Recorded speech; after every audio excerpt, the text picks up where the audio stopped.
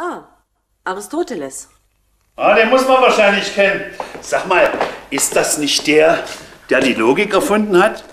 Naja, erfunden ist vielleicht nicht das richtige Wort. Andere vor ihm haben ja auch schon die Logik benutzt, aber ohne zu wissen, was sie tun. Selbst Kinder denken ja logisch, auch wenn sie die Regeln der Logik nicht kennen. Und du? Was hast du gesagt? Da fällt mir ein Beispiel ein. Gestern wollte mein Sohn ein Eis von mir bezahlt haben. Und seine Begründung war, vorgestern habe ich auch eins gekriegt. Und darum kriege ich heute auch eins. Und das meinte er sehr logisch. Na und du? Äh, was hast du gesagt? Ich habe gesagt, gerade weil du gestern ein Eis hattest, kriegst du heute keins mehr. Das ist für mich logisch. Na und was hätte jetzt Aristoteles dazu gesagt? Der hätte gesagt, da fehlt noch eine zweite Prämisse. Prämisse?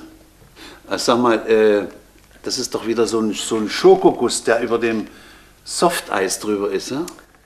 Das ist eine Denkmethode. Denkmethode. Ja, äh, sorry, sprich weiter. Pass auf.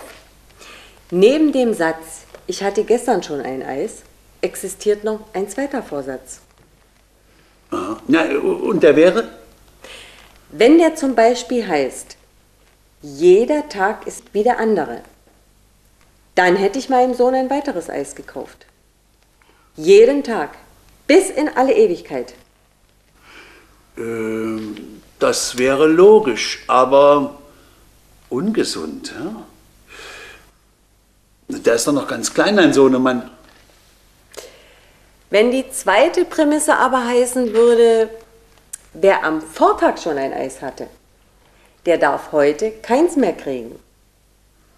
Dann hätte ich streng nach Aristoteles recht. Hm, lass das deinen Sohn nicht wissen. Kinder sind sehr sensibel. Wenn der jetzt rauskriegt, dass er wegen irgendeinem ollen Griechen heute kein Eis bekommen hat, dann will er vielleicht nie nach Kreta zum Urlaub. Hm? Und das wäre doch schade, wegen der Gegend, der Hitze, des Meeres und...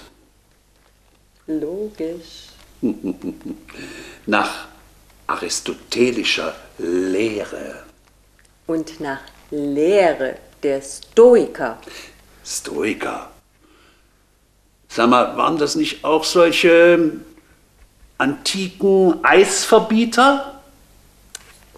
Darauf muss ich dir aber jetzt keine Antwort geben.